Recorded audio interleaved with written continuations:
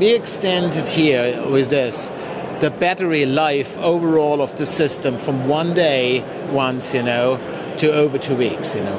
One day, and two still weeks. delivering, still delivering still that, delivering exactly, that level exactly. of graphics.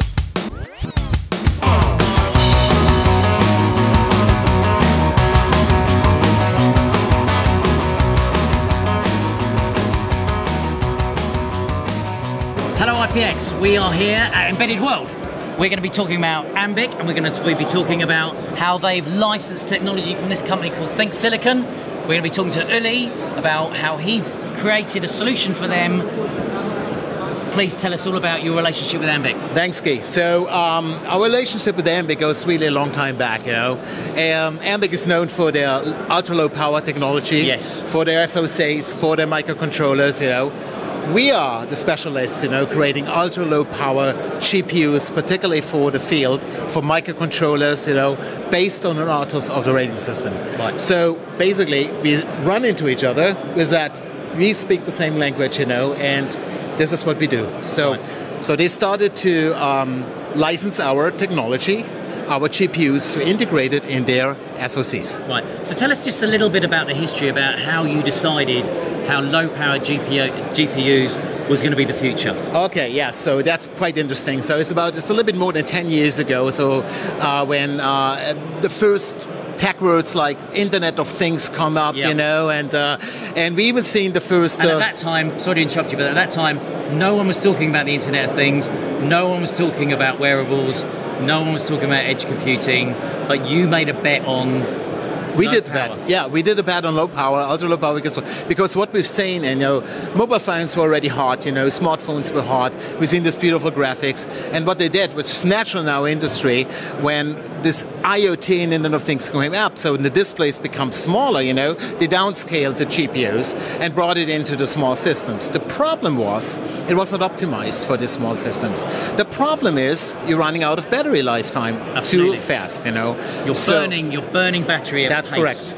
That's correct. So we said that is probably the thing for the future. You know, we need to take care. You know, there is no GPU in the market. You know, which has been built from bottom up, particularly addressing this kind. Hopefully, in that time, upcoming new markets. You know, Yeah, yeah. and. Um, that was about the same time, you know, when Ambiq also um, become established, you know, as a company, you know, getting founded, and and um, how it is, we we run into each other, introduced, you know, from business contacts, you know, and again, as I said already, we talk the same language, Okay. and uh, so just tell us a little bit now about how they, how what, what, what technology they're actually licensing from you, Yep. and how that helps them come to market and come into the wearable market Yep. and maximize their low power. Yeah. So um, the technology they license is a graphic processing unit. You know. Yep. Uh, we started with a 2D, also two-dimensional uh, unit, and a display processor. Right. And so, what is unique with that? Unique with that? So we created, you know, not just the architecture for the chip for that. We created also the entire graphics library application interface around. Right. The problem with graphics is, you know, graphics by itself doesn't run. You know, no chip runs or no technology runs by itself. You need to program it.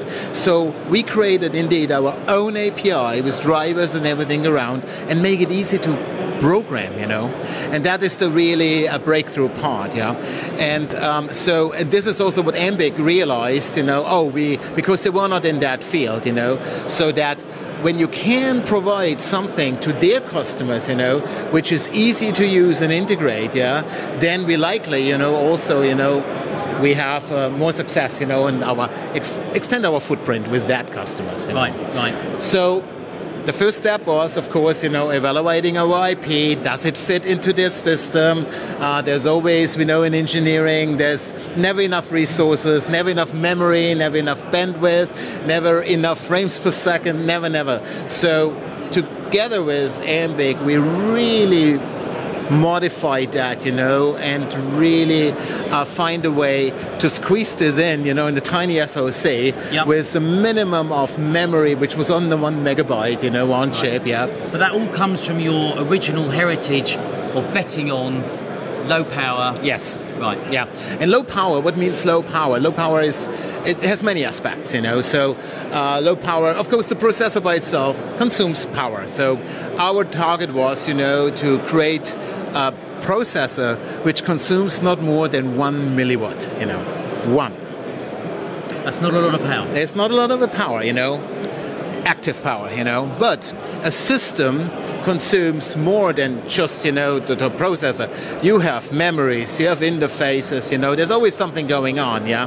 And the most power has been consumed among a display if you have a display is the memory transfers you know? So we created our own proprietary compression schemes where we going and compress the graphic assets and when you need it you know they been called up again, you know, and uh, been displayed, yeah. And uh, of course, if you compress a graphics image, yeah, and make it very small, you know, you, you don't need a lot of memory space. Therefore, you limited the memory transfers between the processor, you know, and the display. Right. So that is our secret sauce, basically. Very good, very good. And these are some of the, some, some of the examples here that you you're working with them. So just can you just talk us through these? Absolutely. So what we're seeing here is the current uh, Apollo 4 Plus from uh, from uh, Ambiq, and inside here is our NEMA Pico XL uh, GPU and our NEMA DC display controller. So we have a four-layer display controller, and we have uh, a 2.5D GPU. So with this 2.5D, so yeah, we went in a two or a 3D, you know. So, so we found a way to basically what's called um, uh, corrective uh, uh, corrective projection to display almost a 3D model, you know, without really utilizing the entire power, you know, which you need, what's going, what's behind on the framework. Yeah, so that is uh, certainly an absolute uh, was an absolute breakthrough you know to bring this in you know and you see here uh, how smooth the whole system works here. These are all the same boards you know. Another very important uh, feature into it is uh, something like maps, you know, you know, for example, that you support map, map support, you know, because you have it on your smartwatch, you're running, yeah. you know, yeah. your Google yeah. Maps, whatever on your here it's now, you know, that is smoothly becoming displayed here, you know.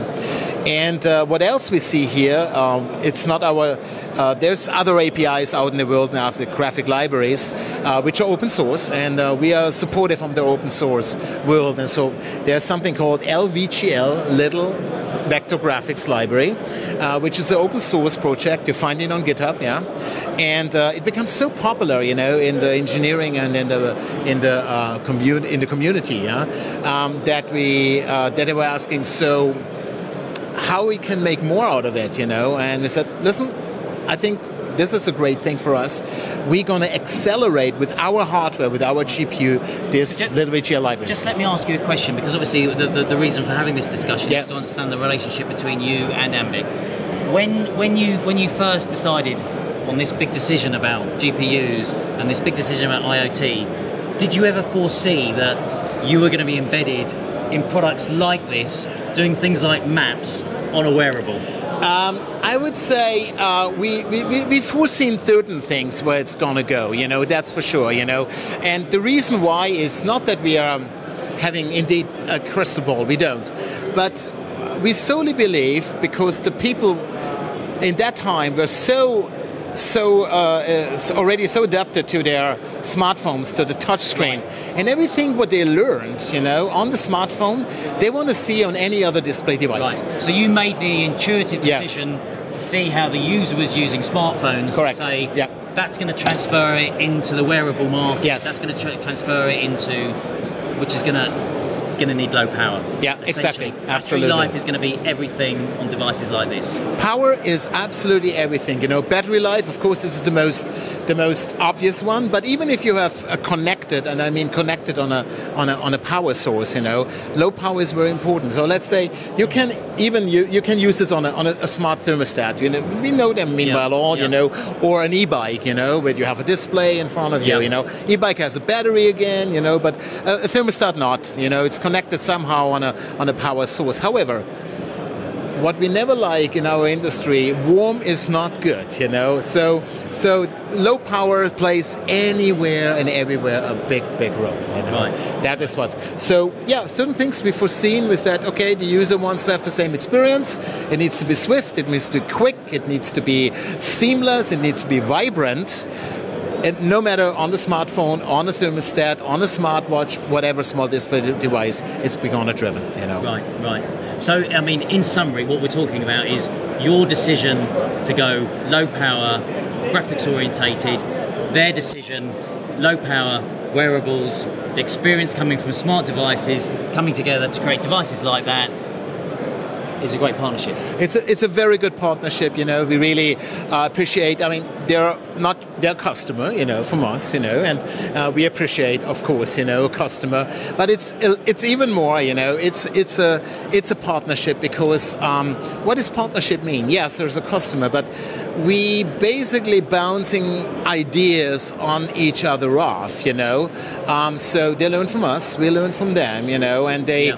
Um, very grateful, to be honest, you know, that a company like Ambiq. Um, let us in in uh, their ecosystem and their in their partner world. You know, yeah. uh, it has a lot to do with trust, you know, and respect, of course. You know, yeah. uh, we have yeah. it to each other.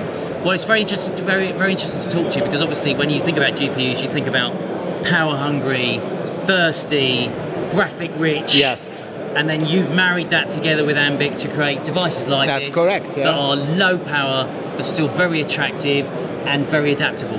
Yeah, absolutely. I mean, uh, that's a very good point, Gay, you know, because usually when we're thinking about GPUs, we're thinking about the big powerhouses, the NVIDIAs heat. and the AMDs, you know, and heat, you know, and you need big, big fans, you know, and, yeah. and whatever, uh, water-cooled PCs and so on. And these are great GPUs, don't get me wrong, you know, absolutely fantastic, you know, and they're gonna push the limits. You well, know, they're not gonna work in there. This is they? not at all. You know what we're having here. You know, yeah. we're coming yeah. the other way around. We say no, no, no, no. We're gonna go down with the frequencies. You know, yeah, more higher frequency means also more heat. You know, more power. You know, so we're coming the other way around, and it was kind of also an interesting process. We had to retrain actually the people we're talking to because they came, even they're specialists in the industry and engineers, they were thinking different. They're coming, oh, well, I need a lot of frequency, I need a lot of clock cycles, you know, I need a lot of frames per second. So no, no, no. It's uh, let's let's coming from a content base, what you really want to display,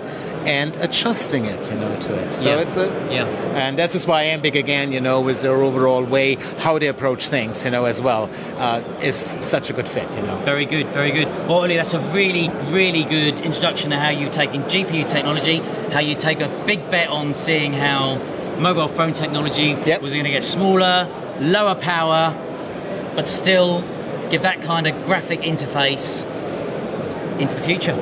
Yes, absolutely. So let's move a little bit over here, you know, where the future is, and it's the current future. We are absolutely proud and thrilled, you know, to again being a part of this project from Ambiq, you know. So this is the latest, you know, Apollo 5, 10, you know, what we're seeing here, and you see the stunning graphics on That's it. mad. It's, it's unbelievable, isn't That's it? Mad. You know, you know, it is really yeah. crazy what's going on, and the flying, I, it's amazing. And so there we have our latest and upgrade basically from the GPU yeah. we've seen before. And this is driven by our latest NEMA Pico VG XL1000 vector graphics GPU. So it has a vector graphics extension.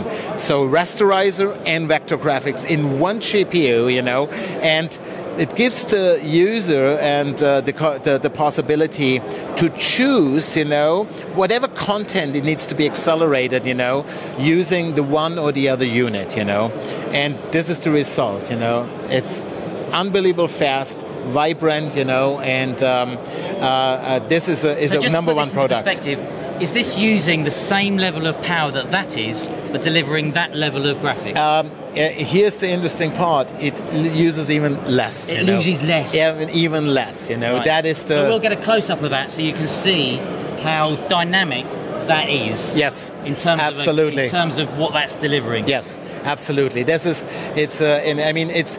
Uh, you know, in technology, it's always never. It's, it's, it's kind of an evolutionary process uh, we, we, we, we have here. You know, and here we found a way to balance. You know, the system resources. You know, and the and and and the and the, the, the, the core processor resources. So I give you here a number which is quite impressive. You know what you see here right now, you know, and the acceleration, what happens on the GPU, you just now utilize less than 5% of the microcontroller in it, of its performance power, which can rest or did do any other things in the background, you know, just under 5% from the entire processing power, you know, has been used. The rest has been executed on the GPU, you know.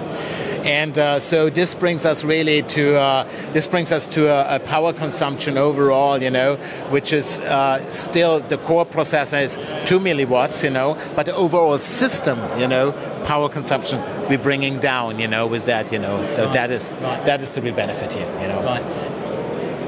Is there anything even close to that in the market? Um, not that I know. I mean, we have a competition too, you know. So, but at the moment, I would say we spearheading, you know, uh, when it comes to uh, graphics acceleration on uh, in the microcontroller world, you know, and uh, based on a real-time operating system. Yeah. So we yeah. certainly here are spearheading that, you know, okay. at the moment, you know. So for the sake of this video, we will get a close-up of what's going on there.